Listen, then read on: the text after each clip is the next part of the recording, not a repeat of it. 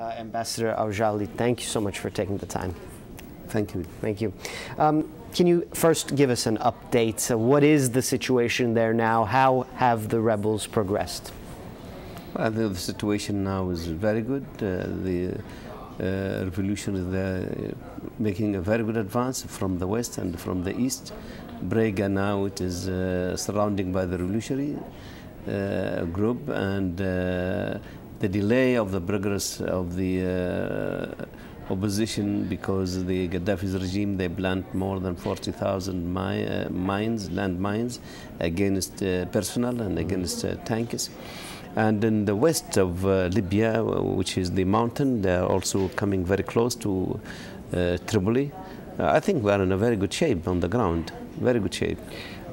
There were reports that yesterday Tripoli was um, penetrated, in essence, with an assassination attempt. These are accurate reports? Yes, the assassination attempt uh, happened, uh, and uh, I do understand that Mansour uh, Daw, he's the chief of the Gaddafi security, was injured, and uh, his son Saif al-Islam and uh, the Prime Minister al-Baghdadi and Abdullah Sanusi, uh, maybe they have a slight injury, but I have not seen any report of uh, any killing uh, among them.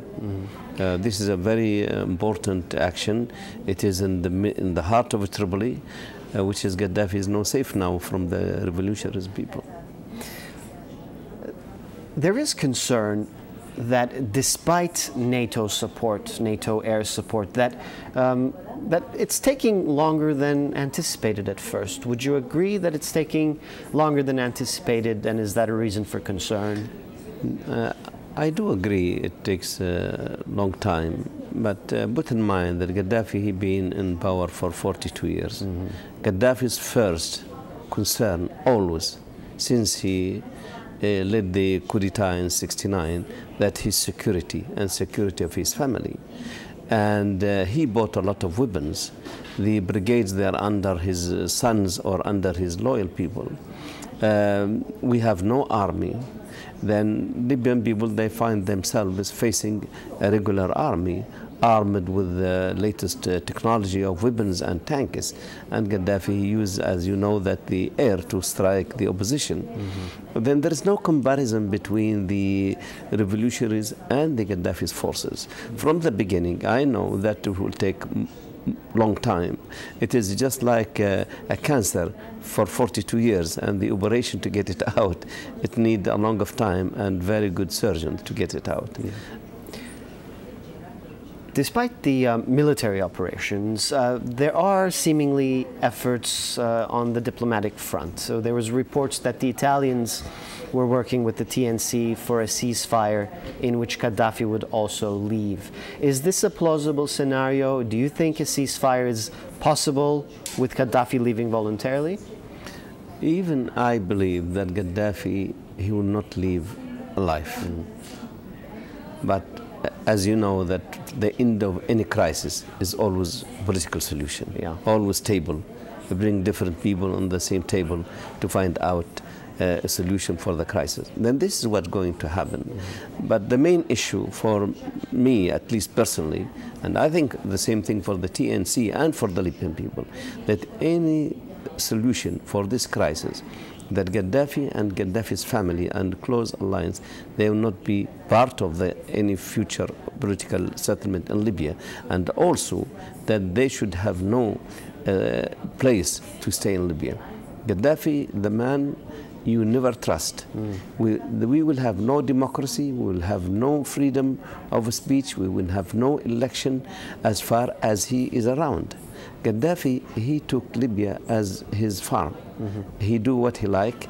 He uh, appoint whom he likes. He kill whom he doesn't like. Mm -hmm. Then any solution uh, with Gaddafi's presence that will not be acceptable he, by anybody, I believe. So he must leave he the country. must leave the country. If you trust a snake uh, in your house, mm. a cobra in your house, not to bite, mm. then you can trust Gaddafi not to attack the Libyan people and conspires to uh, destabilize Libya from the east to west.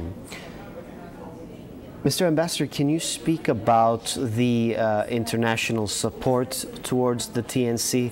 Uh, is the TNC satisfied? More can be done? Do you expect more coming? Well, I'm very happy to see the international support uh, for the Libyan uh, revolution, for the Libyan people, for, to give them the hope and the determination. The Libyan people, they're determined to get rid of this regime. And the international support, it, as we've seen from the beginning of this revolution, it is increasing now more than 40 countries uh, recognize the, the TNC. Mm-hmm. And their political support is very important. But at the same time, the NATO mission have to continue mm-hmm. uh, to stop Gaddafi from killing his own people. Mm-hmm. This is very serious.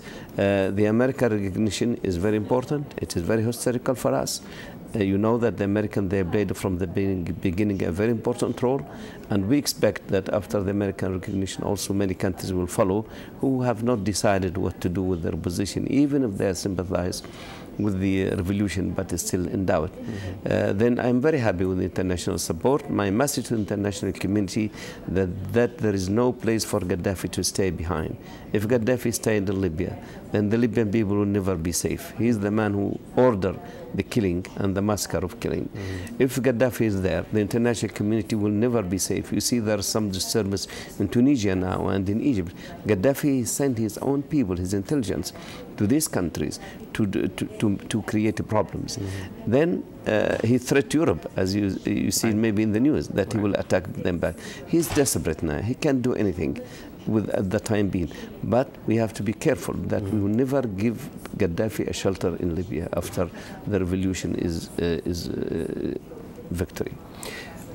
Now, I want to talk about Turkey uh, for a moment. Uh, when I interviewed you in March, uh, you mentioned that you were shocked with Turkey's position. You said that Turkey looked like it was supporting Gaddafi. Um, things have changed hasn't it? Um, what do you think of Turkey's position now as the TNC? That's true. I remember very well that uh, interview, and uh, I told you in that interview I am always admired of uh, Mr. Erdogan. Mm -hmm. He's a very respected man, and uh, he inspired many young people in the Muslim and Arab world and uh, he presented the Islam the way we like to present to the to, to the world. Mm. But I was really disappointed for the first few statements he made concerning Libya, and uh, of course the statement, especially he made when he uh, supported that Gaddafi will name a person who Libyan will accept, and that's mean mean to me exactly is Saif al-Islam.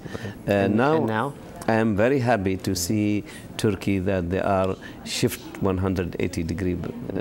That's what really Libya expect from Turkey. Turkey is a big brother, Turkey a big partner, and Turkey they have interest in Libya, mm -hmm. and this interest will continue with us. Turkey, they are a member of NATO, and we depend on them. Mm -hmm. You prove now that Turkey is really the major player, uh, really a support of democracy, and we are very happy. Are, I'm very glad now. Um, I have to thank Turkey very much for the support to accommodate Libyan injuries who came from Misrata, yeah. and that's uh, that's a great thing to happen. Yeah. Ambassador Aujali, representative of the TNC in Washington, D.C. Thank you very much. We appreciate thank it. Thank you. Thank you.